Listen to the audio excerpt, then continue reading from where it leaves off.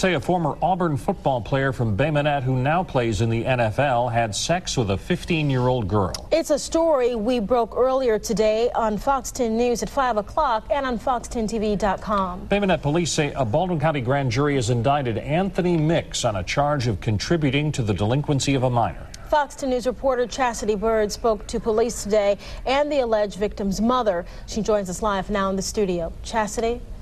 Bob and Lenise Anthony Mix, who is 26 years old, played football at Baldwin County High School before going to Auburn. He now plays for the Tampa Bay Buccaneers. Bay Minette police told me today that a warrant has been signed for his arrest. Uh, he's a grown man, and he should know better. A mother is speaking out. We are not showing you her face in order to not give away the identity of her daughter. Police say just months ago, in January, the 15 year old and pro football player Anthony Mix had consensual sex. Investigators say the incident started by text messaging. One thing led to another, they decided to meet. Um, I, we believe that he was aware of the age of the girl. Um, the girl snuck out of her house early hours of the morning. Uh, they got together and they met. They ended up having sex in the vehicle while it was parked on the street. Police say the two did have sex a second time and the girl was brought home around 3 a.m. Later that morning, the girl's mother found out and a police report was filed. Through the investigation, we uh, decided that um, we had enough evidence to take the case to the grand jury.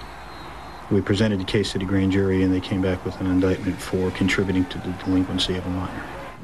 Bay Minette police do say, along with the delinquency of a minor charge, they were also pursuing two other charges second degree rape and sodomy. But the grand jury decided to only indict Mix on the misdemeanor. Now, the mother of the alleged victim says her daughter hasn't been the same since. She's going through a lot. Um, she don't want to face it, I know. She says she wanted her voice to be heard.